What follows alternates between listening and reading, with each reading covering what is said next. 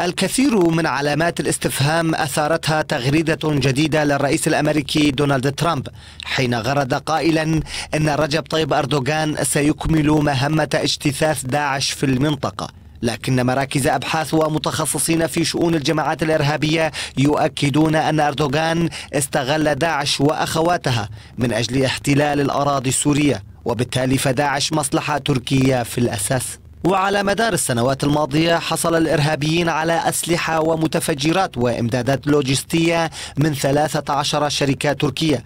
بحسب تقرير لمؤسسة أبحاث التسلح في الصراعات نشر العام 2016 كما أكدت منظمة ستوكهولم للحريات أن الجنوب التركي يحوي بؤر ومراكز تدريب للإرهابيين وإرسالهم إلى سوريا. ما يفتح الباب لسؤال مشروع. كيف ستحارب تركيا الإرهاب الذي ساعدت في انتشاره ورفضت الانضمام للتحالف الدولي ضده الذي بدأ العام 2014 ولا يخفى على أحد وهنا تجب الإشارة إلى المخابرات الغربية وتسريبات وسائل الإعلام حتى التركيه منها. الدور التركي في دعم داعش وفتح الممرات الحدودية لعناصره القادمين من دول عديدة.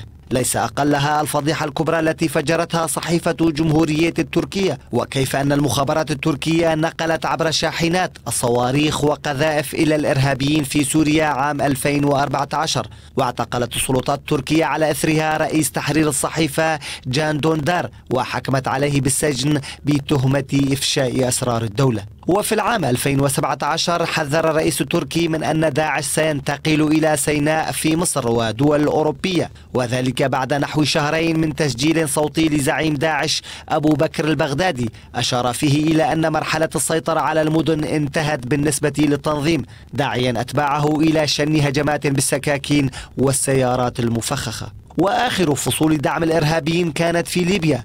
بعد فضيحة ضبط أسلحة تركية كانت في طريقها إلى الإرهابيين في البلاد وعلى إثرها طالبت السلطات الليبية الأمم المتحدة بمحاسبة تركيا وردعها. وبعد التحول في السياسة الأمريكية بالمنطقة وترك قوات سوريا الديمقراطية التي ساهمت في دحر داعش عرضة للمطامع التركية فإن الدور الذي أوكله ترامب لأردوغان يجد ترجمة أخرى في أنقرة التي وجدت الفرصة سانحة لزعزعة الاستقرار في الشمال السوري. ويرى مراقبون بعد تغريدات ترامب الأخيرة أن المرحلة الحالية ربما تستدعي استحضار داعش مرة أخرى لإعطاء النظام التركي ضوءا أخضر لتنفيذ مخططاته بشرق الفرات.